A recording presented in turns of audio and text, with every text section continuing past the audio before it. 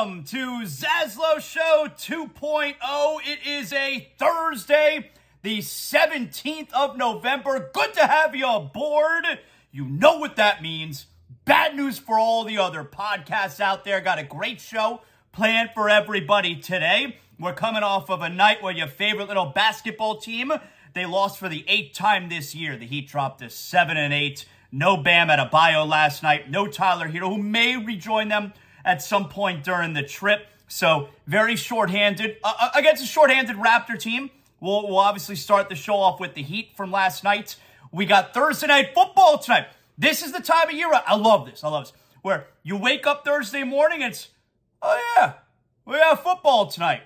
Great time. I mean, every night we got something going on, you know? So tonight, you got a little bit of Thursday night football. Dolphins are off this week. Very, very sad. But we get to relax, just watch all the games, and then get back to taking that ass next week against the Houston Texans.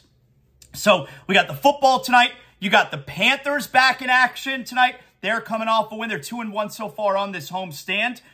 Our pal, my former co-host, one of the great guys in the entire world, Brett Romberg is going to join the show today. We're going to get Romberg on. Canes have Clemson this weekend. Canes are a disaster. Everybody wants to hear from Romberg. I get people, they're messaging Yo, you had Joy on. You had Amber on. They're great girls. When are we going to get the Rom Dog on? So that time is today. We're going to get Romberg on the show. He'll join us. We'll talk some Canes. Maybe do a little bit of NFL with him. We'll catch up with our pal there. So you're not going to want to miss that. Jessica Blaylock. She is our friend, Bally Sports Florida. She will make her return slash debut on Zaslow Show 2.0. See, once I started to get comfortable with everything, I mean, we got a whole team, you know, editing, producing the show, whole team, lots of people. And once everyone got comfortable, then we could start adding in the guests. And that's what we've been doing here. So Jessica will join us coming up in the show today. I want to talk to her about Jonathan Huberdeau coming back here this Saturday.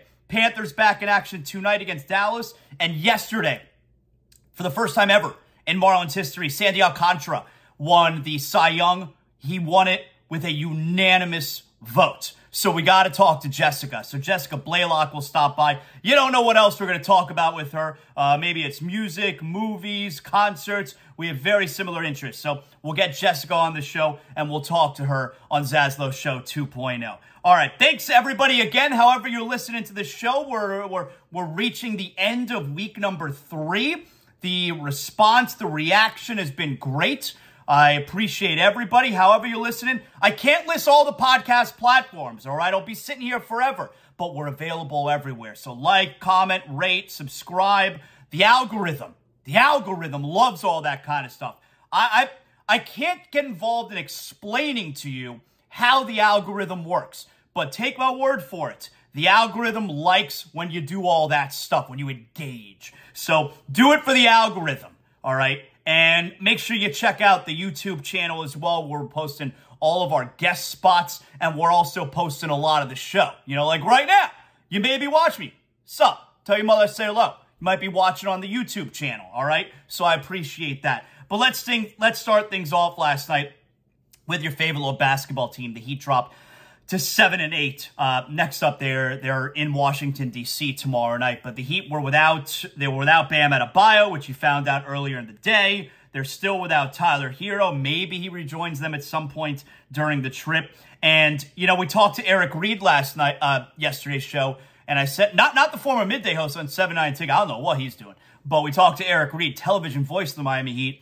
And, you know, hey, what do you think about Vic making the trip, Oladipo? And and I told him, I said, I, think it's just to be around the team. You know, Eric was hopeful it means at some point he'll play, but they ruled him out yesterday for the entire trip. So he, he's just there to to be around the team. That that whole scenario is disappointing. It is what it is. There's nothing we can do about it. But last night, I mean, look, the big takeaway from last night, the Heat were shorthanded, obviously. And if you think the team is small when Bam Adebayo is in there, how about when he's not? How about when he's out? Last, it, it's it doesn't even look real. The second fewest rebound total in the history of the franchises last night. The Heat grabbed 23 rebounds. That's it. They were out rebounded last night 42 to 23. 23 total rebounds last night. And by the way, I mean, Caleb Martin grabbed nine of those. You know, you're, Jimmy Butler had a weird game last night. Butler, I mean, the fourth quarter, he got a little bit involved, but Butler had a weird game last night. He had just 13 points. He only took eight shots, got to the free throw line just five times. He had one rebound. One rebound. Jimmy had a weird game last night. So the Heat got hammered on the boards yesterday. And, and, here's the game. I know Kyle Lowry made mention of this. And Lowry played well last night. Look, they were in Toronto. I guess he was trying, you know. But Lowry made mention of this last night after the game because the rebound disparity and the Heat were out rebounded offensive rebounds 16 to 4. Um, the Raptors took 86 field goals, field goal attempts. The Heat attempted 66. It's 20 more shots. Can't win like that. You'll lose every single time. And it's not one of those deals where, okay, like like the game against Phoenix.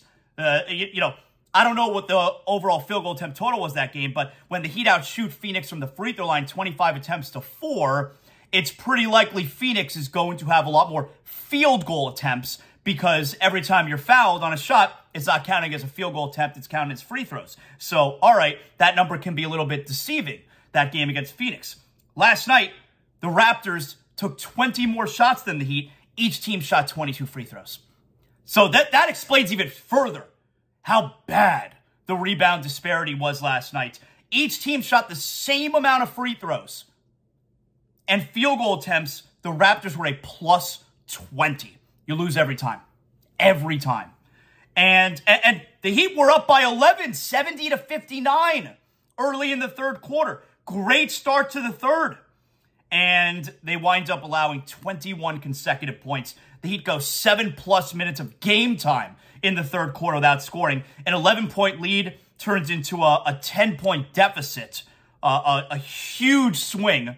And you, you wind up coming back. I think the closest the Heat got after that point, like it was a three, four point game the rest of the way, you know, from late third quarter then into the fourth quarter. But ultimately couldn't get the stops. Offensive rebounds, that was the whole thing. Offensive rebounds for Toronto, and, and, the Heat wind up losing there at the Raptors. And it doesn't even matter that that the Raptors. I mean, it matters, but it doesn't even matter that the Raptors without Siakam. I told you yesterday. The Raptors are very similar to the Heat. Team plays hard, they defend hard, they're smart, they're long. The Heat aren't long, but they're long. And the Raptors are always a problem, man. That's that, that's a well-run franchise, a well-coached team. I mean, Nick Nurse, he, he could be, you know, since Frank Vogel's not in the league right now, Frank Hole, you know, Nick Nurse he may be the, the biggest offender when it comes to yelling at the opposing player on the sideline when he's shooting a corner three. But take that out of the equation. Nick Nurse, good coach. Good coach. So the Raptors beat the Heat last night. They're 9 and 7. The Heat dropped to 7 and 8. Next up is Friday. They're they're in Washington, D.C. to take on the to take on the Washington Wizards. Uh, th- there's some other stuff that, that we'll get to later on in the show. I, I do think something that you want to take away from the game last night, since Bam didn't play, Nikola Jovic got the start. And he was he was really good. Now, they didn't trust him late in the game. He was not in late in the game. Late in the game, you had your starting five minus Jovic, but with Gabe Vincent. So, coach didn't trust him late in the game. But Jovic got the start for Bam. He had 11 of his 13 points in the first quarter. Helped get the team going. So, 13 points. He was 4 of 8 overall. Hit a three very early in the game, four for four from the free throw line. He grabbed three rebounds. Kid did a good job. And maybe that's a jumping off point where you're going to start to see him a little bit more. That looked to me like he deserves it. So eh, he did not look like a liability out there on the floor. And defensively, too, didn't look like a liability. I mean, maybe I'm wrong, but I, I didn't think he was a liability at all out there. So maybe that, that's, a, that's a positive takeaway. Maybe you look at that and say, all right, you know, th this kid, he can contribute right now. Let's do it. Come on. So, like I said, next up Friday night. Last night was disappointing. The big NBA news, though, yesterday was after giving up 153 points to the Sacramento Kings. Sacramento Kings, they're not a joke. They're a decent team this year. This year. After giving up 153 points two nights ago to the Sacramento Kings, Kevin Durant, after the game, had a one-on-one sit down with Bleacher Report, Yahoo's Chris Haynes, and he, he did a tell-all, and that was the big news yesterday uh, in the NBA y- yesterday afternoon and then into today. You know, got all the shows they're talking about, the radio shows, the national shows. Very big news. So Kevin Durant sat down with Chris Haynes and did like a, you know, a, a tell all about his trade request from the summer, opened up about that and, and what's going on so far, a little bit of what's going on so far this season. So I got a few takeaways in regards to that. All right the first, if you read the story, it's not long, it's easy. But if you read the story, eh, he, he, he crushes Steve Nash. Crushes him. I mean, even though after, even though he was surprised that Nash got fired, and he enjoyed coming to work with him every day. Crushes Steve Nash. I'll read you some of the quotes here. So when talking about what happened over the summer, quote, it wasn't difficult at all to request a trade because it was about ball. I went to them and was like, yo, I don't like how we're preparing. I don't like shoot arounds. I like practices. I need more. I want to work on my bleep. Hold me accountable. Get on my ass and film if that's going to help you get on everybody else's head. I want to do more closeouts. I want to work on more shell drills at practice. This was the type of bleep I was coming at them with. It wasn't like, yo, y'all need to make sure everybody around me make my life easier. Hell no. I want to make sure everyone's everyone else's life is easier. Ask Steve Nash. You can go call him right now. I would say, yo, I need more closeout drills. We need to practice more. That's what I was on. I wasn't feeling that, and nobody was on the same vibe with me. Jacque Vaughn is. I had some complaints in the summer, my complaints were not just about me. It was about how we're moving as a unit. I want us to be respected out here in the basketball world. I don't want players to look at us and say, oh man, these bleeps are full of full of bleep. That's not the type of team I want to be on. So when we're playing like bleep, you know the one person they're going to look at. That's why I requested a trade. Okay. So just crushing Steve Nash. I like, though, how he told the reporter. I like how he told Chris Haynes, hey, if you don't believe that Chris, Na- Chris Steve Nash sucks, go call him. Call him right now. Call him right now. Tell you how much he sucks. Uh, that, that, I love that part. One of my biggest takeaways from that right there. First of all, what's the point in crushing Steve Nash at this point? I, I, I don't understand what the point is there. But you can't help but think he has no problem holding Nash accountable. He doesn't like the way Nash runs a practice. And listen, I don't want to sit here and defend Steve Nash. He should never have been the coach from the get go. Which, by the way, when Kevin Durant and Kyrie Irving got there, they had a good coach, Kenny Atkinson. He's a current assistant for Golden State. He actually took the Charlotte Hornets job, then turned it down, and then went back to continue being the top assistant with the Warriors. Kenny Atkinson was the Nets coach. Remember? That team was supposed to stink. They were finally starting to recover from the, the disastrous draft picks, Paul Pierce, Kevin Garnett trade, and they were a surprise team. You had a bunch of like uh, go-getters, you know, between Jarrett Allen, Spencer Dinwiddie, Joe Harris. They had a nice little team that made the playoffs in the bubble, that made the play-in game, eh, play-in tournament in the bubble. They had a nice little team, right? And Durant missed that whole season. And what happened when Kevin Durant was ready to play? They fired Kenny Atkinson. So they could bring in their guy. Uh, Steve Nash was Durant's guy. So they could bring in their guy. And as Kyrie Irving would say, we don't need a coach. They had a good coach. Durant and Irving wanted him fired. And the Nets said, okay. They wanted him fired and they fired him. And now guess what? They hired a coach who had no experience, and Kevin Durant, Kevin Durant, he didn't like it. He didn't like the way that coach was was handling practices. Which, by the way, can we mention? Is it quite possible that the practices were a little bit on the softer side because Durant was coming off of missing an entire season because he had a major injury history because he was coming off an Achilles tear? Is it possible? and that your other star player, Kyrie Irving, is always hurt when he's not finding other reasons not to play and be anti-Semitic, that he's always hurt too? Is that possible? Maybe that's why we took a little bit easy in practices? Okay. Maybe. Might be possible. So, no problem holding Steve Nash accountable. Never holds Kyrie Irving accountable. Never, ever holds Kyrie Irving accountable. Now, how about here? So, speaking of which, this was another takeaway from the story yesterday when Kevin Durant talks about, uh, you know, not being a good leader, which is not a terrible leader. I'm not a leader? What the F does that mean? A lot of people say I'm not a leader because I didn't tell Kyrie to get vaccinated. Come on. Or I didn't condemn Kyrie for leaving the team, going out and living his life. I'm not about to tell a grown-ass man what he can and can't do with his own life and dissect his views or how he thinks about shit. Okay. All right. That's kind of what comes along with being a leader. Is you're the guy who sits others down and tells them, "Hey, we all got to get on the same page." We're not just going AWOL for two weeks like Irving did a couple years ago, and he's showing up uh, at parties unvaccinated. Now he has to sit out games because he violated protocol. Th- this is the kind of stuff that a leader does and holds dudes accountable. He's willing to hold the coach accountable and ask for him to be fired, and he's not even willing to have a conversation with Kyrie about leaving the team. Let me ask you something. Let me ask something. If what I used to do Zaslow and Joy, I used to do Zaslow and Amber, great girls. When I used to do those shows, if Amber just up and dip for a couple weeks, went AWOL, didn't tell anyone, you don't think I would call her up and say, yo, time, what type of shit you on?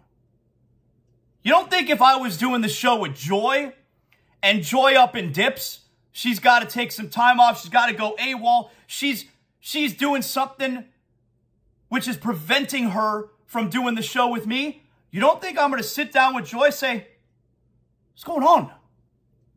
We need, I need you here. We're in this together. We made this decision here to be on this team together. What are you doing? You, you can't, that's called being a leader. You think if Amber or Joy just up and dipped, took some time off, isn't doing what's best for the show, I'm not at least going to have a conversation? I mean, look, he, he doesn't have to be a leader, but own up to it. He's not. An amazing basketball player. He is not a winning player. He's not. 11 years, not counting this year, this, this will be 12. 12 years not playing for the Warriors. He's been to the finals one time. Lost. One time. One of the all time great players, 12 years not playing next to Steph Curry, has never won anything and has only been to the finals one time. Not a winning player no problem holding Steve Nash accountable, wanting him fired, won't even have a conversation with Kyrie Irving. Come on. You don't think Amber or Joy behave the way that he's behaving? I'm not going to at least have a conversation, say, yo, what type of shit you on? Not even a conversation? And how about this one here, too? So this is also talking about, you know, why he's requesting it, why he requested a trade Look at our starting lineup. Edmund Sumner, Royce O'Neale, Joe Harris, Nick Claxton to me. It's not disrespect, but what are you expecting from that group? You expect us to win because I'm out there. So if you're watching from that lens, you're expecting us to play well because number seven is out there. Well, yeah. Yeah. Any lineup that Giannis is on the floor with, I expect him to win. Any lineup that Luka Doncic is on the floor with, I expect him to win. You go look at the Mavericks. You think Luka Doncic is playing with, with like, you think he's got a good supporting cast? You go look again. And, and, and, by the way, no disrespect. Hey, let me list all the guys that I play with that suck, but no disrespect. Edmund Sumner, Royce O'Neale, Joe Harris, Nick Claxton. It's not disrespect. What he expected from that group. Yeah, let me name all the guys I play with who suck, but no disrespect. Now, here's where he's full of shit. Because he's talking about, he's talking, and by the way, I mean, just crushing your, like, crushing your teammates there. You know what? Like, what's the point? You know what it reminds me of? It reminds me of when Shaq, who I love, but it reminds me of when Shaq on his way out here in 2008. It was no point, and this really helped create the the rift between the Heat and Shaq, which of course has been totally patched up. But when Shaq was on the way out and, and he's taking shots at Chris Quinn and Ricky Davis, what's the point? What's the point taking shots at Chris Quinn and Ricky Davis? It, like this reminds me of, of, of Shaq on his way out. But here, here's why Durant is full of shit. He's talking about the reasons that he wanted to be traded, the reasons he requested the trade. Look at our starting lineup. Sumner, Royce O'Neale, Joe Harris, Claxton, and me. That wasn't his starting lineup. That wasn't his starting lineup over the summer. First of all, Royce O'Neale wasn't even on the team at that point. But, like, if you talk to Kevin Durant over the summer when he requested the trade, his starting lineup is him, Joe Harris, Kyrie Irving, Ben Simmons. Like, this wasn't his starting lineup. This isn't why part of why he's requesting a trade. It's full of shit. Like his starting lineup, he said, is Durant and Irving and Ben Simmons and you know, maybe Seth Curry and, and, and Joe Harris. Like that's, or, or put in whatever big man you want there. Hell, bring in DeAndre Jordan back. You guys love him. It's kind of full of shit. No problem holding the coach accountable, though. Refuses to hold Kyrie Irving accountable. No, no accountability here directed toward Kyrie Irving in the story. None. None. My biggest takeaway, though, he's telling everyone he wants Kyrie Irving back. That's that's my biggest takeaway. Because he, he's naming all, you know, the guys he's starting with now. Not the reason he requested a trade. That eh, he's full of crap there. But he's naming all the guys that are in the starting lineup now. He, this whole thing was he's telling everyone he wants Kyrie Irving back. He's telling the owner he wants Kyrie Irving back. He's telling the general manager he wants Kyrie Irving back.